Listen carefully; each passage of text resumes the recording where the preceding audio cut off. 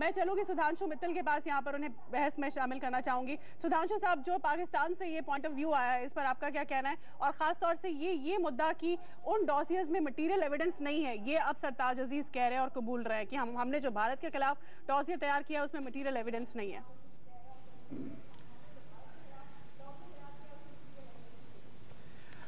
आपने अभी तक पाकिस्तान की तरफ़ से जो तकरीरें दी गई हैं उसमें यही देखा कि भारत जो है मैं मैं थोड़ा खत्म कर लूँ? जी बिल्कुल बोले मैं अपनी बात रख लूँ जी। हम्म। अभी आपने देखा कि इनकी तकरीर क्या है? कह रहे भारत जो है बात नहीं होने देना चाहता भारत रोकता है। शायद तथ्य जो है फैक्ट्स अंग्रेज़ी में जिसको कहते हैं उसके बारे में इनको जानकारी नहीं मैं दे देता हूँ आपको। 27 मई को नवाज़ शरीफ जी आए थे हिंदुस्तान में और यह तय हुआ कि 25 अगस्त को हम लोग जो है बातचीत करेंगे सेक्रेटरी लेवल की।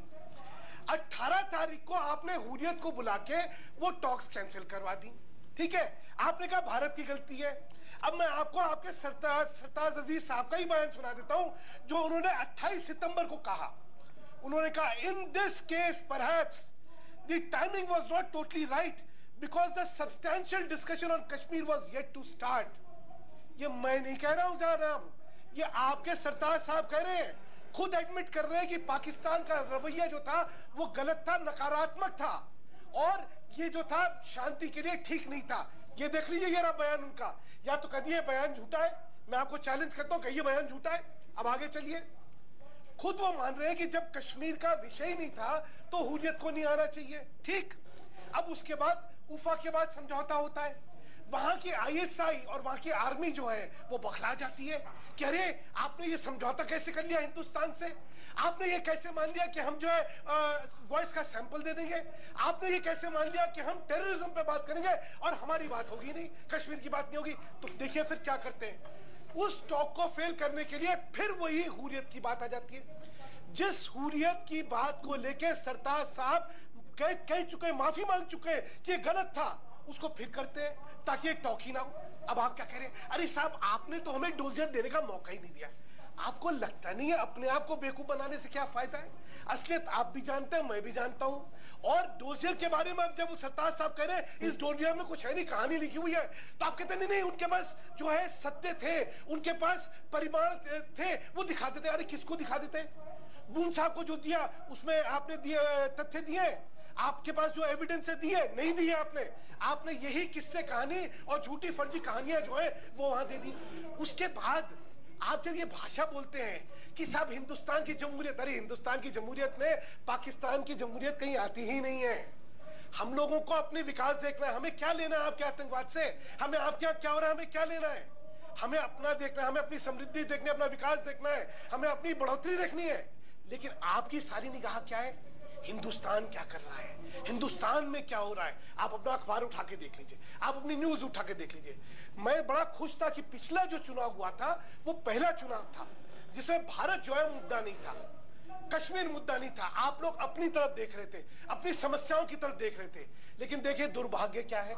जैसे ही वहाँ पे प्रजातंत्र की जीत हुई, वैसे ही आर्मी ने और आईएसआई ने शिकंजा कस लिया। अच्छी शुरुआत करके जो दोस्ती की तकरीरें हो रही थी जो दोस्ती के लिए कदम बढ़ रहे थे बात आपकी उसको समझ आ गई। तो क्यों? क्योंकि जिस दिन हमारे दोस्त ने बड़ी अंदर दोस्ती हो गई तो दोस्ती हो गई उस दिन आर्मी का वजूद खत्म हो जाएगा आईएसआई का खत्म हो जाएगा। जी इलाही साहब।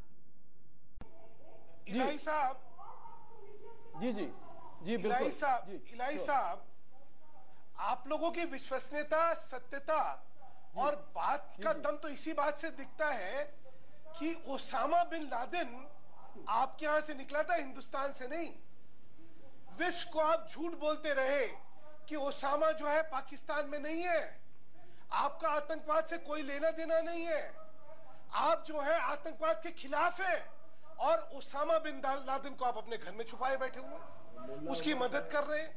और उसके बाद भी आप कह रहे हैं कि साहब हमारी विश्वसनीयता है। हम जो कह रहे हैं सत्य कहते हैं। और सुनिए जीता जागता दाऊद इब्राहिम आपके यहाँ है और फिर भी कहते हैं हम लोग जो है हम हमारे पास परिमाण परिमाण है।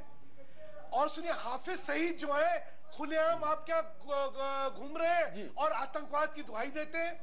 और उसके बाद भी आप ऐसी ऐसी बात करते हैं। तो मुझे लगता है बात करते समय या तो आपके यहाँ निर्लजता इतनी हो गई है कि कोई झूठ बोल दो कोई फ़र्क नहीं पड़ता। मुझे तो लगता है सब्र समाज के अंदर सभ्य समाज में झूठ बोलते हुए जवान लड़खड़ा जाती है। आप तो उसामा बिन लादेन को पाले हुए थे छुपाए हुए थे। विश्व में उसके सामने झूठ बोल रहे थे। और उसके बाद कहते हमारी बात का विश्वास करो। अब आप कहते हैं सुनिए हमारे पास जो है प्रूफ है। लेकिन हम शेयर नहीं कर अच्छा सकते थे। तो हिंदुस्तान से तो आप शेयर करते और अगर आप हिंदुस्तान से शेयर करते तो जो खतरा होने वाला होता वो हो ही जाता।